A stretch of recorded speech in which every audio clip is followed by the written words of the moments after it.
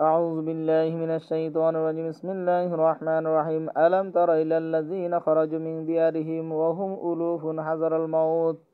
فقال لهم الله موتوا ثم أحياهم.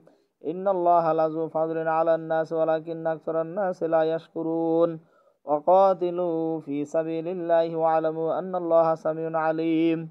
من ذا الذي يقرض الله قرضا حسنا فيضاعفه له أضعافا كثيرة.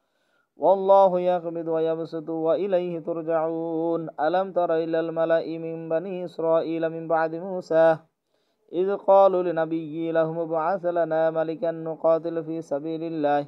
قال هل عصيتم إن كتب عليكم القتال ألا تقاتلوا؟ قالوا وما لنا ألا نقاتل في سبيل الله وقد أخرجنا من ديارنا.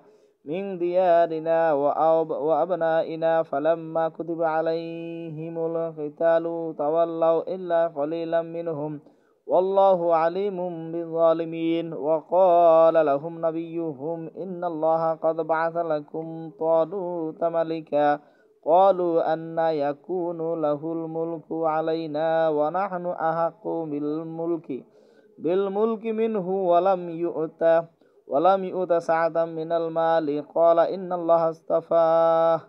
قال إن الله اصطفاه عليكم وزاده بسطة في العلم والجسم.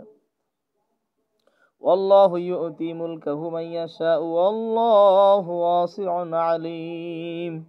صدق الله العظيم.